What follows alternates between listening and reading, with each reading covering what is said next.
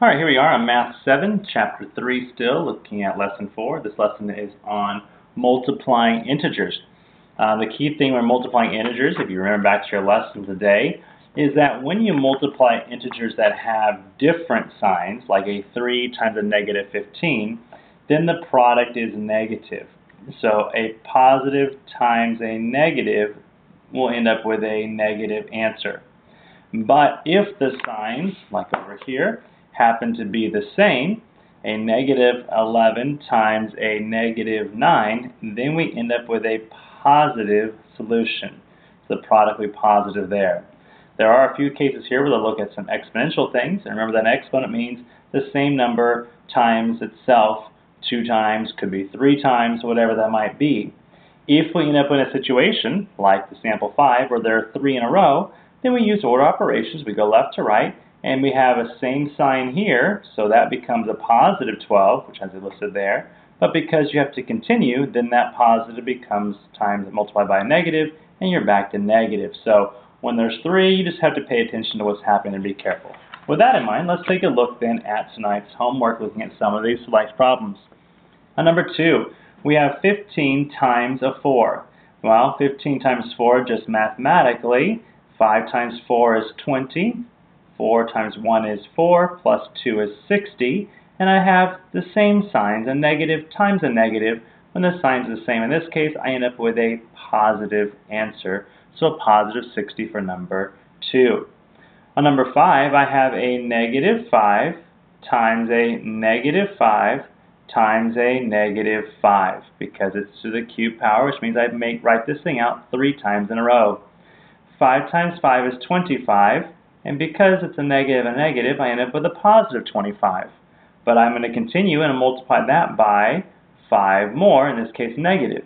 The signs are different, so I'm going to end up with a negative answer. I don't know what 25 times 5 is, so I'll write it out right here.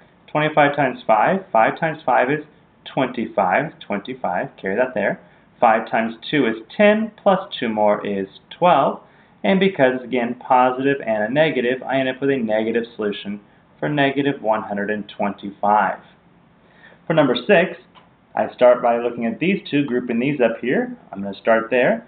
So negative 3 times a negative 2 will give me a positive 6 because 3 times 2 is 6 and two negatives make a positive. Now I'll take the, the positive 6 and multiply it by a positive 1, and I'm left with simply 6 as my answer. Number 8. Number 8 says that wave erosion, means it's going away, erosion, eroding, going away, causes a certain coastline to recede, moving away, getting less, at a rate of 3 centimeters each year. 3 centimeters a year. This occurs uninterrupted for a period of eight years. So for eight years in a row, we are losing, receding, three centimeters. So I have three centimeters going away every eight years. I could write this out as year one, year two, year three, year four, year five, year six, year seven, year eight, and do minus three, minus three, minus three, minus three, minus three, minus three, minus three. But that's a whole lot of minuses, and it excludes the fact that we use multiplication to do repeated addition and repeated subtraction. So in this case here, I take my erosion, 3 centimeters a year, and I'm going to multiply that by how many years it happens, 8 times. Negative 3 times 8 is going to give me 24, but because I have a negative times a positive, I'm going to be giving a solution of a negative 24 because I'm going to lose a total of 24 centimeters after 8 years. Again, if I did this way, I could add that up and continue moving 3, 3, 3, and add up, end up with a same solution, negative 24. But we're working on multiplication there. Let's turn the page. Looking on the next page, extra practice here. We have 25 times a negative 2. The signs are different, so I'll have a negative answer. And 25 times 2, that's like a quarter and another quarter. I'm talking about money, ends up with 50. So I'm at negative 50 for number 18. Number 19, we had one just like this before, a negative 4 times a negative 4 times another negative 4.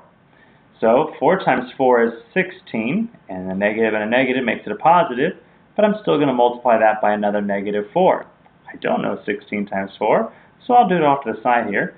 6 times 4 is 24. And 4 times 1 is 4, plus 2 is 6. And I have a positive times a negative, so I'm going to have a negative 64 as my answer.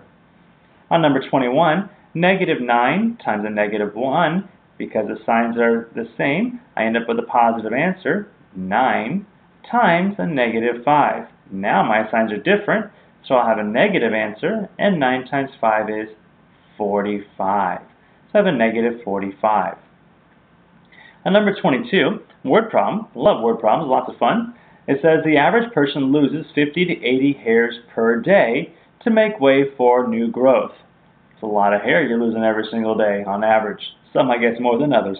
Suppose you lose 65, so losing 65, that'd be losing 65 hairs per day for 15 days without growing any. So let's say we have 65 hairs we lose on day one, and we're going to continue that for a total of 15 days. One, that's a lot of hair you're losing, and uh, yep, going to be a problem. Um, so let's multiply this out. I have 65 times 15. 5 times 5 is 25. 5 times 6 is 30, plus 2 is 32. And I have a placeholder 0 right there. And 1 times 5 is 5. 1 times 6 is 6. So we have 5, 7, and 975.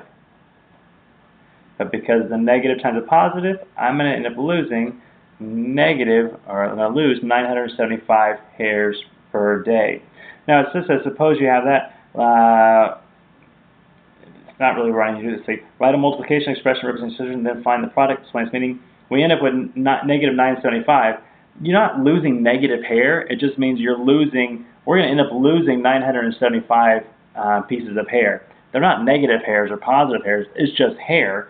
This just tells me that I'm not gaining any, I'm going to be losing that many. That's what that negative stands for there. All right, number 27, 29, a couple things we're going to fill in here. We have values given to us uh, for A, B, C, and D. So I need to plug those in. B happens to be a negative 4, and C happens to be a positive 3. So 4 times 3 is 12, but a negative times a positive is a negative, so negative 12. On the next one, A is negative 6, B we said was a negative 4, and C is cubed. So I'm going to have 3 times 3 times 3. If I want to write it out that way, or I could keep it 3 cubed. Doesn't really matter too much. Either way, 6 times 4 is 24, and it's going to be positive. 24 times 3 cubed, I can keep going out here. 24 times the first 3 gives me 12, 6, 72. That's exciting. That's 1 3 times another 3 gives me 216. That's the second 3. Times another 3 gives me 18, 3, 4, and 648, if I did that right. A little complicated, kind of a long, silly problem. The idea, though, is that you're trying, trying to see, is it positive or negative? Because those two negatives combine first, you end up with a positive, and the rest is positive, and it's 648. And that's it for today. Hope that helps a little bit. Good luck with the rest of your homework.